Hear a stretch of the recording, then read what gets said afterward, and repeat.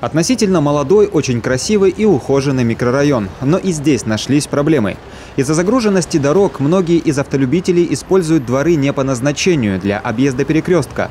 Но сэкономленные минуты могут обернуться аварией. Узкий участок дороги, загороженный бордюром, мешает разъехаться транспорту. Очень сложно разъезжаться, особенно зимой, когда скользко. У нас здесь постоянно всю зиму происходит ДТП. Обращались в управляющую компанию, но они говорят, что э, это не их, это администрации города. Это нужно туда писать коллективное письмо, как бы, если они решат, что это можно что-то сделать, значит, тогда кто-то это, может быть, и уберет.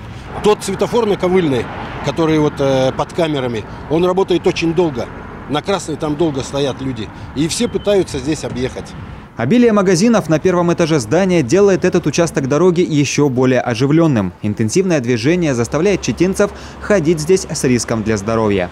Пешеходы тоже очень часто подвергают своей жизни опасности. Проезжающие мимо автомобили чаще всего не пропускают людей, даже несмотря на знак, обозначающий жилую зону, в которой человек может двигаться как по тротуарам, так и по всей ширине проезжей части. В общем, вопросов к архитектору этого островка остается очень много. Этот вот участок, он не облагорожен, ничего.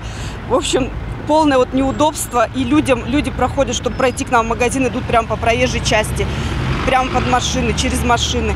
Ну, в общем, и что в нем, какая полезность, совершенно непонятно. Вот его убрать хотя бы наполовинку было бы ну, просто великолепно. Управляющая компания о проблеме жильцов знает, но помочь ничем не может. Ссылается на то, что территория принадлежит городу, а потому отправляет с этим вопросом к архитектору Читы. Сам же островок, или как его называют местный царский язык, неудобен абсолютно для всех. Сейчас столица Забайкалья осталась без зодчего, но люди надеются, что с приходом нового градостроителя их проблема будет решена. Виктор Соловьев, Анастасия Шадрина, ЗАП-ТВ.